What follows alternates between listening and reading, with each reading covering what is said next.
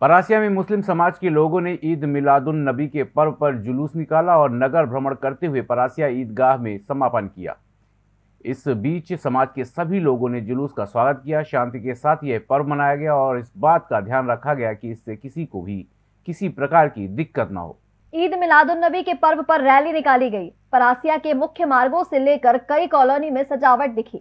Rally में भारत देश का झंडा भी दिखाई दिया। और जगह जगह मुस्लिम समाज का स्वागत किया गया।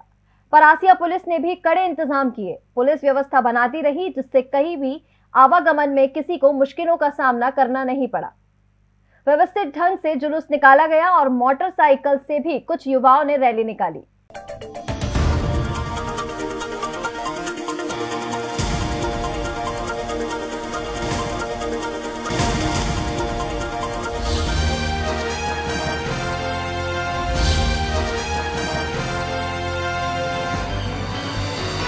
आप देख रहे हैं दखल न्यूज़।